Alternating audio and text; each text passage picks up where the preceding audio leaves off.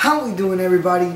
My name is Malik from the AES team and I'll be showing you guys how to use our auto detect feature with all our 2.0 subscribers. Auto detect makes setting up your subscriber just a little bit Oh. easier by automatically detecting your alarm panel's communication protocol. Enough talking about it though, let's show you how easy it is to use and where you could find it.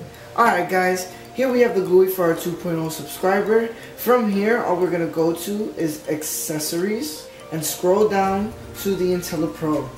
And now you're gonna see that the AP report format is already in auto. From there, we're gonna move over to the alarm panel. We're just gonna wanna set a trip by holding down one of the presets.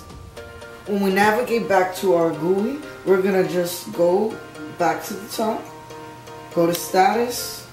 Now when we scroll down to hardware, you can see that the IntelliPro has detected CID for the alarm panel.